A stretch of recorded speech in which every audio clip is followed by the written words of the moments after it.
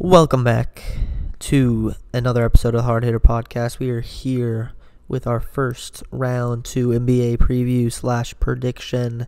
We have our first round, first second round matchup, which I think could be the most interesting round of the playoffs. We have the Brooklyn Nets versus the Milwaukee Bucks. Two very different teams, they're very different styles, very different cultures. Very, very, very opposing side, like kind of a yin and yang. Uh, we'll start with Brooklyn as they are the higher seed, the two seed. Brooklyn, they're all scoring. You got, of course, of course, you got Kyrie, Harden, KD. That's all you need to win a championship right there. They are very strong contenders. I'd say still the front runners to win the championship. It would be a disappointment. It's championship or bust this year for Brooklyn. And they definitely have the pieces to do it. Um, they showed pretty, they were really dominant against Boston, giving up only one game. Uh, but I think the real weakness really shines through in that series is that they they cannot they're not very good defensively. They have to outscore every team they play to get a win. They're not going to stop you on the defensive end, but they will shoot you out the court. Uh, so that's why Boston took one game. Uh, Jayson Tatum went off and basically gave uh, Brooklyn run for its money. So they won in five. But let's kind of just go over some stats uh, for some players who who uh, play.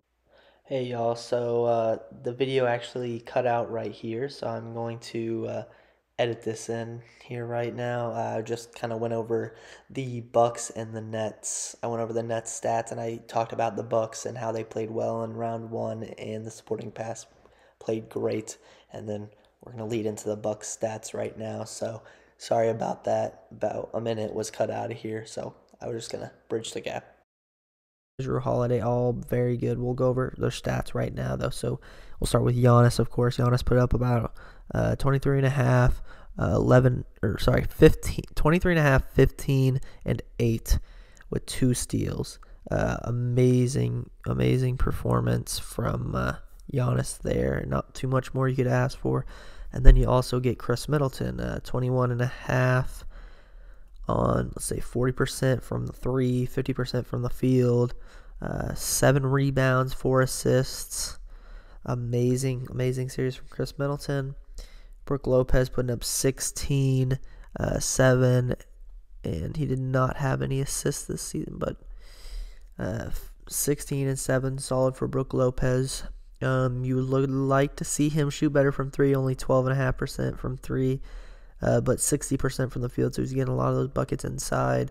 Uh, eventually, he'll probably turn into more of a stretch guy when it comes down down to it. Um, and then they had the offseason pickup. Jrue Holiday uh, played very, very good defense the whole series. Kind of, he put up Jrue numbers. He had 15, uh, 7, and 10 very Jrue numbers, plus the defense with two, almost two and a half steals. So, uh, really good, really good uh, series for Jrue Holiday. He also had Bryn Forbes, who had a good uh, one good game, so he pushed him up to 15 points per game. Bobby Portis with about 11, uh, 11 and 5, solid, solid.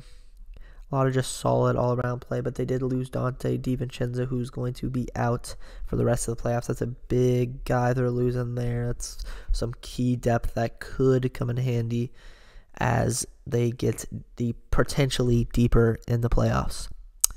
Um, so now let's go over each team's round one MVP. So for the Brooklyn Nets, I will be picking James Harden. James Harden, obviously, we went over stats. Go over one more time. He put up 28. Not to mention he's shooting over 55% from the field, 47.5% from three. He put up 28, 7, and 10 with two steals. Uh, not that's everything and more you want from James Harden, and James Harden looks like a man on a mission to get a ring. Uh, and he just had an amazing series one uh, after coming off an injury, not too late in the season. So uh, for the Bucks, my series MVP round one, Khris Middleton. Khris Middleton, you might be thinking, oh, why not Giannis? I did Khris Middleton just because I believe they had obviously trouble beating the Heat, and maybe some of their players weren't playing as well. And I think Khris Middleton wasn't playing as well. And he goes out there and he puts up that 21 and a half on very efficient shooting, uh, being that second guy to Giannis. I think that was really the key factor to them winning that series. Um, now, let's get into some of the games they played during the regular season. I don't know how much you want to take from this, but it's, a, it's just a little something to look over. Uh, game one, 25 to 125 to 123, close win. That was very early in the season. Uh, game two and three were right next to each other. They played them back to back, and the Bucks won both 114 to 117 and 118 to 124. So you want to read into that what you want. Uh, if not, okay. uh, now let's get into some round two X factors for each team. We'll start with Brooklyn, and I think it's Kevin Durant. And not only just Kevin Durant, I just think the big three can they outscore with no def without with very bad defense? Can they outscore their opponents to get them wins in the playoffs. So it, not just Kevin Durant, but just the big three in general. Um, and then the round two X factor, Giannis Antetokounmpo. Um, this, uh, Giannis obviously two MVPs, not too much playoff success.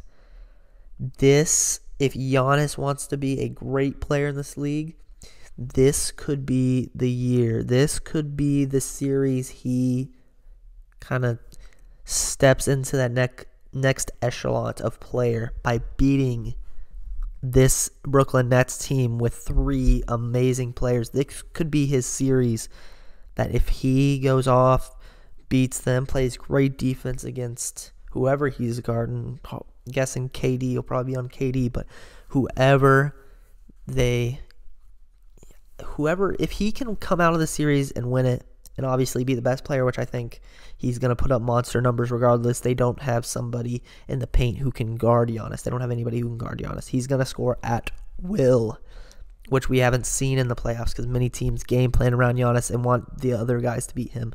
But he is going to be able to score at will.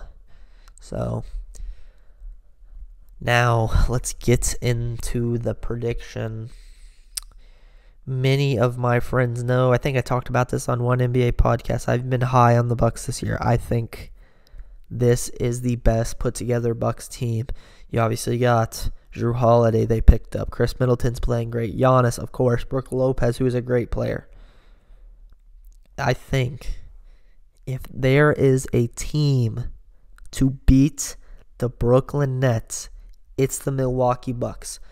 Uh, and that's why in seven games, I have the Milwaukee Bucks beating the Nets. I don't think the Nets are going to be able to outscore the Bucks consistently enough to win this series. I think the Bucks have the way better defense and I think they are not the Brooklyn has nothing to stop Giannis. Brooklyn has nothing to stop Giannis. Obviously, they have the big 3, three of the greatest scorers ever. But I like I like Giannis on on KD. You probably throw in Khris Middleton on on Harden, and then Jrue on Kyrie. I like those matchups for Milwaukee. I like those matchups.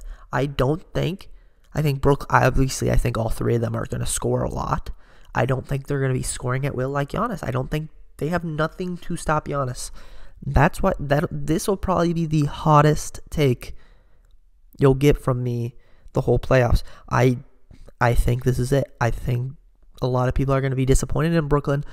I think they're going to this Bucks team's going to show all the flaws they have. They have a they have some flaws.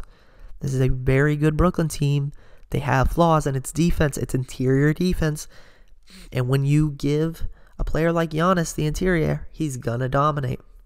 And I, I really think as long as the Bucks surrounding cast plays good, they're winning this series. So that's that's why I got the Bucks. Uh, let me know what y'all think in the comments below. Uh, I know this is a hot take.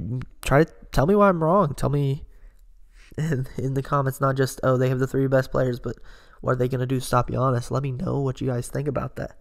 Uh, so comment below what you think. Uh, leave a like on the video. A lot of people are watching these videos who are not subscribed. About 80% on the last three, four videos are not subscribed. So uh, if you haven't yet, hit the subscribe button so we can run up the subscriber count. Getting a lot of views on these second round predictions slash previews, so you obviously like them. Uh, so let us know what el- other little short, shorter videos we can do like this. And uh, thanks for watching, and we'll we'll see you later. Peace.